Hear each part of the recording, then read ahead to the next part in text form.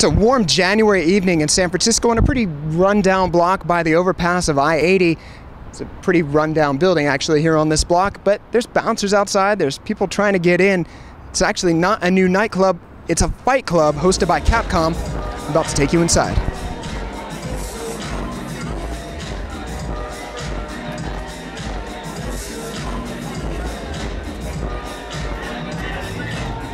I'm here now with Seth Killian from Capcom. You are Mr. Street Fighter 4. You're so inter- intertwined with the game, you are in the game. Tell me what's going on here tonight. Well, tonight we have our uh, San Francisco Fight Club. These have been uh, a series of underground events where we've not really announced them too well. This one we're trying to blow out a little more, but we've done one in LA, one in New York, and uh, now we're bringing it home to San Francisco to try and let people get their hands on the game. So, tell me about this underground environment. Normally, when there's a game launch, uh, for those of you who don't know, it's normally at a name club, and there's you know open bar, and the game playing is almost peripheral to the actual launch. This is a little bit different. It is a little bit different. So that's been one of the uh, themes of Fight Club is that we're trying to bring it back a little bit to the arcade roots, and the game has a little bit of an underground sort of down and dirty kind of feel, and that's what we've tried to recreate with some of our environments. So this is actually the cleanest one, cleanest, safest Fight Club yet, and it's still pretty uh, pretty sketchy.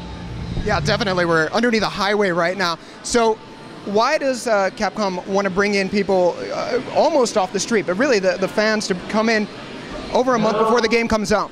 Fa- fans are like our top priority. So without the fans, we're nowhere. And this game is so incredible. And of course, you know, rebooting a classic series like this, there's a lot of doubters and people aren't really sure. But we've had an amazing response. Everywhere we bring the game, people get their hands on it and they go from doubters to believers just like that. So we have a lot of confidence in the game and we want to make sure people get a chance to check it out for themselves. Um, as someone who played Street Fighter II back in the arcades and was okay at best, but I could still pick up the game and really go right at it. Tell for people that haven't really gotten a chance to get into a Japanese arcade or one of these places, what are the main differences between the old Street Fighters and this? Well, I mean, if you play this game, if you play Street Fighter 4 the way you played Street Fighter 2, you'll find, as I think you found, like it's like a comfortable pair of shoes. You can't actually play it like Street Fighter 2. All the same mechanics and things are there. Still feels fun, but at the same time, there's a bunch of, of course, there's a beautiful new look for the game. But there's also uh, ultra combos, which are the spectacular things you've been seeing online probably, and uh, as well as what we call the focus mechanic, which uh, sounds complicated, but is actually just two buttons to execute. Uh, but there's a million ways you can use it. So very flexible. Uh, will, the game grows with you as you uh, invest more in it. You'll find more clever things to do, but you can play it right out of the gates.